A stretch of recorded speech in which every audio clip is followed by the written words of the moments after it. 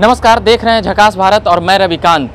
अभी पटना महानगर का संघ शिक्षा वर्ग लगा है, प्राथमिक शिक्षा वर्ग, जो प्रत्येक वर्ष लगता है।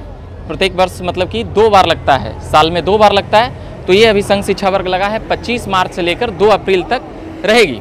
उसके बाद प्राथमिक शिक्षा वर्ग के बाद प्रथम वर्ष, द्वितीय वर्ष, तृतीय वर्ष, जो तृतीय वर्ष जो नागपुर में होता है संघ का, वो नागपुर में होता है। तो अभी मगर यहाँ पर पटना महानगर के द्वारा एम्स गोलंबर के पास, अश्विनी पब्लिक स्कूल में प्राथमिक शिक्षा वर्ग लगा है। यहाँ पर देख रहे होंगे कि स्वयंसेवकों को किस प्रकार से संघ में ट्रेनिंग दी जाती है। योग हो, व्यायाम हो, दंड हो, और भी ऐसी तमाम चीज़ें, और ध्वज लगा हुआ है।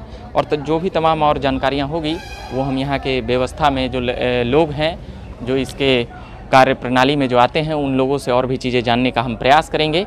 अभी मैं बात करने वाला हूँ इस वर्ग के वर्ग कार्यवाह जी से जो अभी कुछ बताएँगे। यहाँ पर यहाँ पर प्राथमिक शिक्षा वर्ग हो रहा है तो यहाँ पर क्या कुछ होता है? ये अपना सात दिवसीय प्राथमिक शिक्षा वर्ग है, जो 25 तारीख से प्रारंभ हुआ है 25 मार्च से, और 2 अप्रैल को प्रातः यह समाप्त होगा।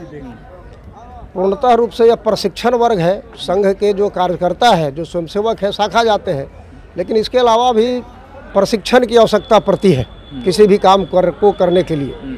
तो ये अपना प्राथमिक शिक्षा वर्ग है आईटीसी से हम लोग कहते हैं। तो इस, इस, इसमें इसमें होता क्या क्या? है इसमें दो प्रकार के अपने कार्यक्रम चलते हैं शारीरिक और बौद्धिक। तो सुबह में दो घंटे का शारीरिक होता है फिर संध्या काल में दो घंटे का शारीरिक होता है। और मध्य काल में अपना वो बौद्धिक से संबंधित कार्यक्रम चलते हैं। बौद्धिक होता है फिर समाचार समीक्षा, इस तरह से अपने कार्यक्रम चलते हैं। संवाद सत्र होता है कूट प्रश्नोत्तरी का कार्यक्रम होता है। रात्रि में फिर मनोरंजन के कार्यक्रम के बाद लोग दीप निवारण करते हैं। वो इस तरह से अपना ये शारीरिक और बौद्धिक का दो प्रकार का कार्यक्रम, दो प्रकार से प्रशिक्षण लेते हैं कि समाज के बीच में जाकर उनको किस प्रकार से कार्य करना है आगे, संघ के शाखाओं के माध्यम से। ये ये ये मतलब कि संघ का कहा जाता है कि ये पहला प्राथमिक उसके उसके बाद प्रथम द्वितीय। हाँ इसके बाद ये प्राथमिक है इसके बाद फिर 20 दिनों का प्रथम वर्ष होता है। जी जी। उसके बाद फिर अगर कार्यकर्ता और आगे सक्रिय रूप से काम करते हैं तो फिर द्वितीय वर्ष 20 दिन का होता है। और तृतीय वर्ष हमारा पूरे विश्व का नागपुर में होता है।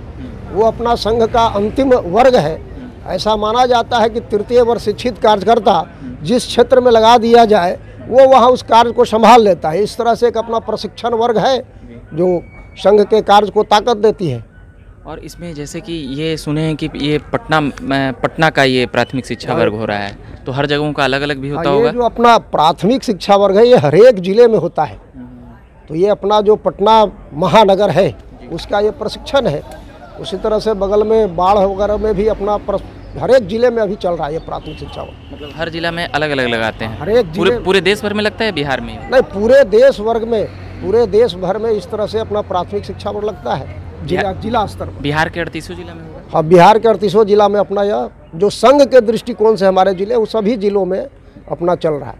चलिए ये बात कर रहे थे हमसे। परिचय क्या हुआ आपका? जितेंद्र कुमार और ऐसे तो पटना महानगर द्वारिका विभाग का दायित्व है। वर्तमान समय में अपना ये जो प्रशिक्षण वर्ग चल रहा है इसके वर्ग कार्यवाह के नाते से अभी यहाँ है। अभी अभी अभी जैसे कि यहाँ पर लगता है कि सूर्य नमस्कार सिखाया जा रहा है। हाँ ये अभी सूर्य नमस्कार का क्लास चल रहा है। जी। तो शारीरिक में सूर्य नमस्कार है दंड है। कितने कितने यहाँ पे अभी डेढ़ सौ के लगभग लोग हैं और बीस लोग और अपने घोष वर्ग भी साथ में है उसके भी प्रशिक्षण लोग ले रहे हैं। चलिए ये मुल, मतलब कि पटना महानगर का ये प्रशिक्षण वर्ग लगा।